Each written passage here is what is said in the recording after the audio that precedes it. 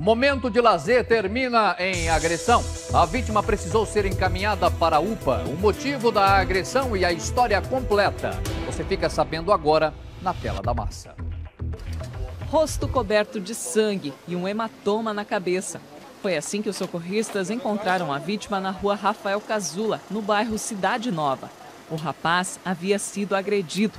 Segundo uma testemunha, a vítima é conhecida apenas como Jonas e teria se envolvido em uma briga. Ele jogava bola momentos antes, quando discutiu com outros rapazes e foi embora. Mas quatro suspeitos foram até a casa da vítima, chamaram por ela e começaram a agredi-la. Jonas levou um soco na nuca e acabou caindo com o rosto no chão, causando grande hematoma na testa e cortando a boca. A briga só parou porque um conhecido ajudou o rapaz e fez com que os agressores corressem do local. Jonas foi colocado na maca e levado até a ambulância. Em seguida, foi encaminhado para a UPA João Samek, consciente e sem gravidade. O povo anda nervoso, né, gente?